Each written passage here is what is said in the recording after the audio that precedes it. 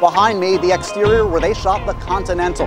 It's a weird feeling to be back here for sure. This is where it happened. This is the wall where I leaned myself into a career. We were actually on a location scout and we were driving by here and I went, stop, this is it. Some people went to college. I went to Quick Stop, head on in. It's more than a location, it's a character in these films. It is the best hotel in the world Yep. for the most dangerous assassins in the world. I fell asleep on the freezer case while we were shooting the fight scene. I could have sworn his eyes turned black. It felt like he looked through me. when Haley came in, I told the casting director, I don't even want to make the movie if it isn't this boy. It's like something you couldn't even imagine wanting to see, but once you see it, you're like, I have to see more of it. Exactly. I'll be Bruce and you be Haley, obviously. Obviously. If I have to be buried someplace, this would be it.